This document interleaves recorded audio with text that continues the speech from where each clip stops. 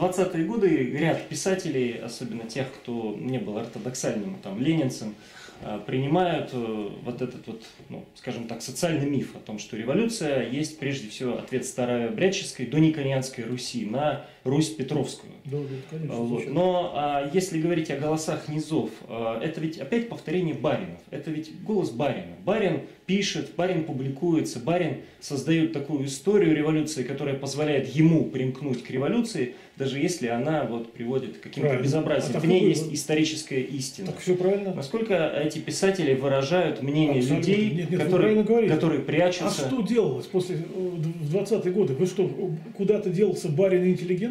Они все прекрасно устроились в наркоматы. Вы Да, но там- ГПУ, которое не различало ни барина, ни интеллигента. Так 30 нет, лет. когда эта масса наполнила партию, вот это положение, когда бывшие барины и интеллигенты, ну, в их понимании, находятся там, занимают поголовное количество должностей, э, это не могло продолжаться долго. И вот отсюда э, началось вот это вот такой вот интеллигентский страшный запал э, конца 20-х годов. Вычистить их вон, нам нужен социальный лифт. Это наша земля, это наша страна. Эти барины окопались, они хотят... Это и есть вот Карпов «Пятая любовь», это очень сильное произведение. Вот беспоповцы и поповцы, вот это вот, как их различать, чего. Вот я скажу просто, как я их различаю. Это не значит, что это правильно, как бы, и так и должно быть. Но мое мнение такое, э, поповцы, это, э, я смотрю с точки зрения беспоповщины, поповцы – это чисто капиталистическое согласие. Вся верхушка купечества или вышла оттуда, или принадлежала к нему там. Там Мамонт. в разных Мамонтов вариациях. дома, да. Да, абсолютно. Там в Почему? разных вариациях. Там. Э, Это не так, там, отслеживать, кто ходил на Рогожский клад, кто не ходил. Коновалов не ходил, например, да, но он что, он с ними был всегда. И Мельник Печорский о его деде пишет, как о старовере там. Это полностью капиталистическое согласие. Собственно говоря, в глазах беспоповцев разница между Рогожским вот этим вот э, кладбищем, да, поповцев, и РПЦ никакой не было. Для, в, в глазах беспоповщины а, Рогожское кладбище это такой же разновидность Никониан, даже хуже. Они предатели. Что они вот э, не, не, не оттолкнули вот эту вот поганую иерархию, да, там, что не уверовали вот во все вот то, что они вот верят, да, и начали, значит, снова эту церковь воспроизводить. Вот, это для тех это все преступление было. Э, Поэтому, а без поповщины, там капиталистическая прослойка, если так говорить, она была очень слабенькая. Мелкая, во-первых, и она не заправляла там ничем. А вот в Рогожке заправляли все, вот упомянутые Рябушинский, и все. Вы, там мухи мимо них не пролетит. Они содержали это. Поповские съезды проводились э, в семнадцатом году после февраля в Московском биржевом комитете в здании. Это что значит? Кто там хозяйничает в этом попо- в согласии? Да никто и не сомневался, кто там хозяйничает. Вот. А у беспоповцев этого не было. И потом, Рогоз – это структура, такая же, как у РПЦ, вертикально построена, инфраструктура, церковная, полноценная. Все. Попы, там, таинства. У этих этого ничего нету. Там. У кого-то больше, у кого-то меньше, но это все не главное. Э, То есть, э, вот в этом разница. У беспоповцев не было такой вот капиталистической привязки, если можно сказать. Оно больше было связано с массами. А эти здесь все-таки все плясали под дуду вот этих вот миллионеров. Как Капиталистической или государственнической? Вот теперь о, государ... о государственнической. Для беспоповцев э, Никонианское государство – это не государство, это исчадие ада, это царство Антихриста. Там. Это мы сейчас говорили, в этом сомнений нет. Когда царство Антихриста, Антихрист пал, революция и все это, да, все изменилось, открылись ворота в новую, так сказать, эру, в новую эру. И вдруг туда опять набегают в это государство те же самые, вот, э, кого вышвырнули в гражданскую войну. Они все за гражданскую войну начали, они всегда заползают. Это правда. Бывшие. Бывшие все, да. Вот он где конфликт. То есть конфликт произошел, я всегда говорю, не в семнадцатом году, в октябре там, да, как говорят, вот в октябре все. Это совершенно мимолетный такой на самом деле. Это как спичку просто зажечь. Все произошло позже, в 20-е годы, когда эта масса э, пошла в партию, выдавила всех вот этих вот бывших, так называемых, да, барских сынков, интеллигентов, студентов там бывших. И вот она стала устанавливать свою идеологию. Какую? Э, Русской превыше всего. Русский народ – старший брат. Какой это марксизм? Да вы Марксу скажите об этом. Троцкому скажите, ну Троцкий и Зиновий они пережить не могли. Для них э, что такое Россия? Это просто ступень для вот серьезных дел. Там сейчас начнется мировая революция вот в разных странах. Вот тогда ну, заваруха будет серьезно. А это значит так, для разгона здесь так получилось. А для этих что значит так получилось? Какая там э, Германия, какая Англия с Францией? Мы лучше всех. Поэтому Царство Божие, теперь равно коммунизм, будет здесь, а не там. И поэтому в чем концепция Сталина? Русский народ старший брат. Он первый среди всех. Он увлекает всех в светлое будущее. и готов как бы с плодами вот своего, своего вот этого прорыва поделиться с другими. Какая мировая революция? Какой Маркс? Да Маркс в гробу перевернулся, если бы ты услышал. Они уже, да. они уже не чистые э, старообрядцы, правда?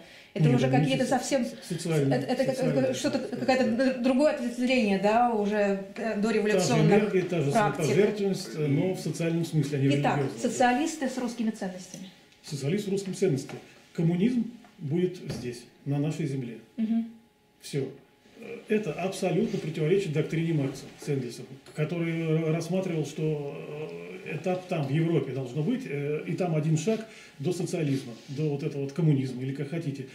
Это полностью отвергалось, и Сталин это быстро очень задвинул. Всех, кто это пропагандировал, всех убрали.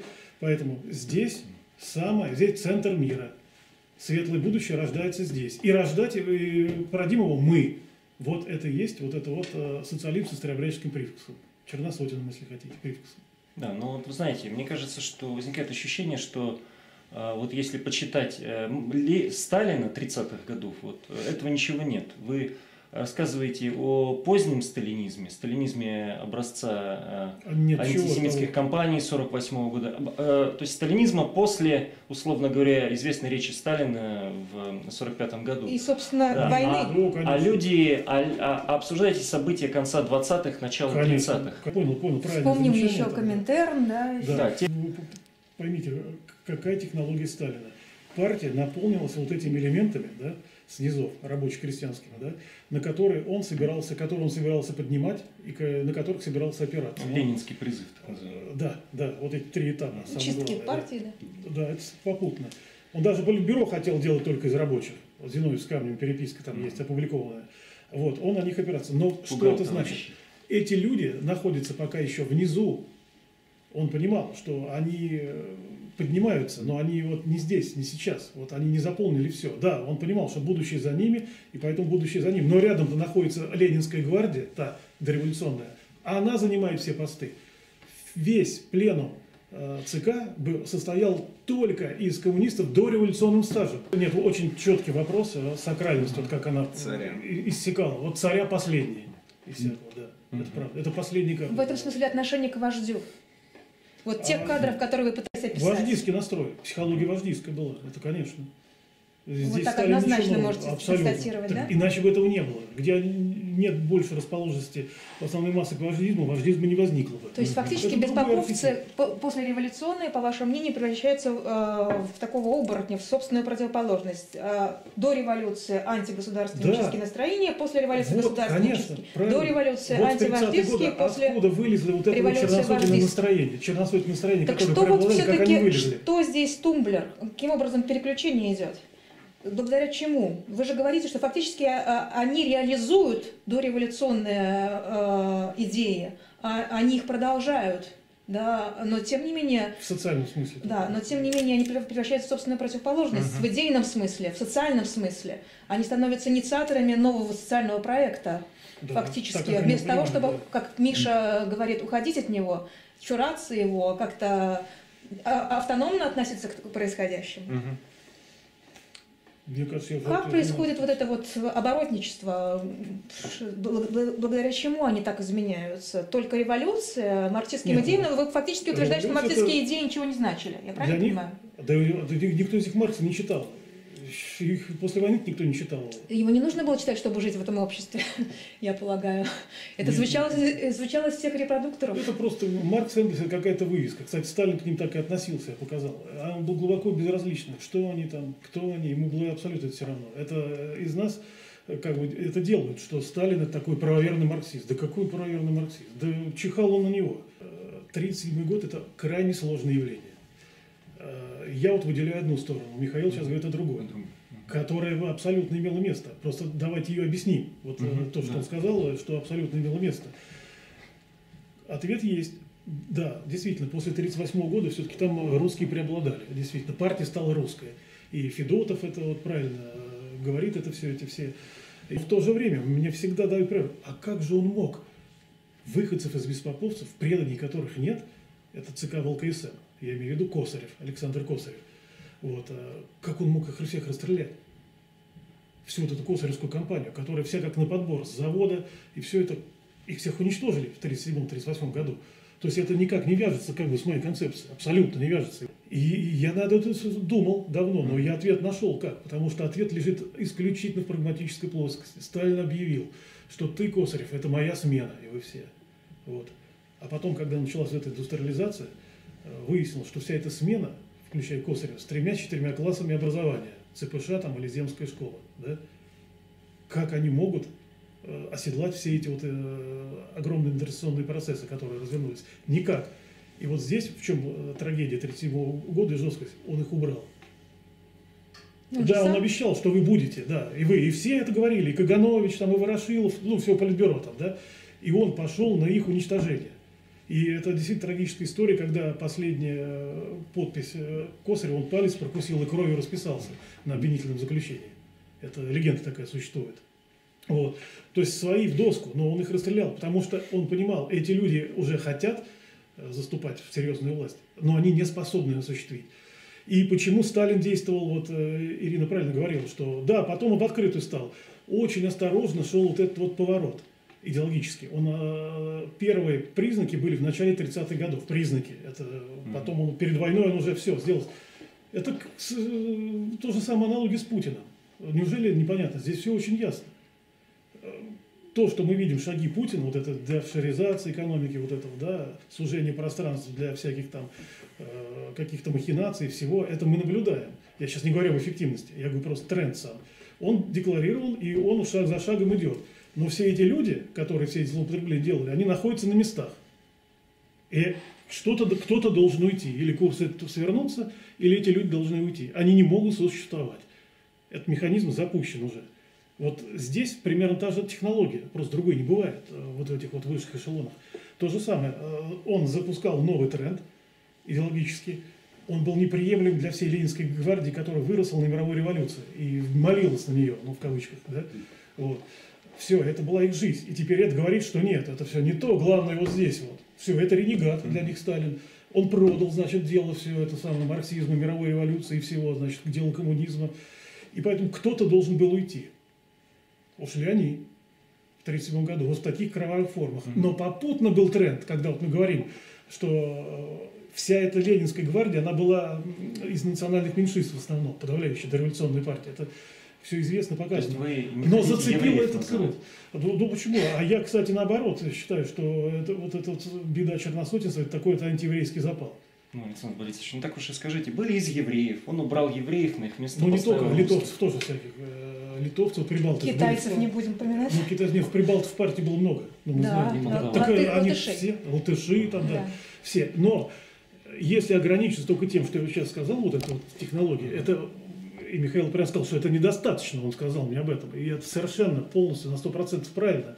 Потому что попутно решалась и вот эта задача. Сейчас мы вас уберем, а дальше что делать будем? вот кто здесь вырос, они тоже не подходят. И вот это вот кровавое месиво, вот эта вот трагедия, да, вот эта вот, которая в стране была, она отодвинула все это. И поэтому вся партийная верхушка обновилась на 80%. Угу. Представляете? Основной жертвой э, репрессий, начиная с, э, ну, с Кирова, да, с Кировского потока и заканчивая, видимо, э, зимой 37-38 годов, да. э, было как раз великоросское крестьянство и пролетариат, вышедший из великороссов. И это были люди, которые как раз э, ну, вот, отправились там на север, которые были просто расстреляны. Косарев, привод, пример. Десят... Ну, Косарев это, это верхушка, верхушка иерархии. Я имею в виду те ну, да, десятки да. и сотни тысяч, которые были осуждены по всей стране. А, например, в Сибири крестьянские депортации, которые опустошали целые уезды, они уже к этому времени уже закончились. Вот. То есть партия и созданный карательный, и, и, и существо, сосуществовавший с ней карательный аппарат, так точнее, а, в качестве основных жертв, да, э, их основными жертвами были как раз вот те самые русские, великороссы по происхождению, а тогда уже русские, горожане и ну и крестьяне, да. Ну, и они сломали хребет да. Э, крестьянству, потому что после этого деревня ну, так и не оправилась в некотором смысле до сих пор.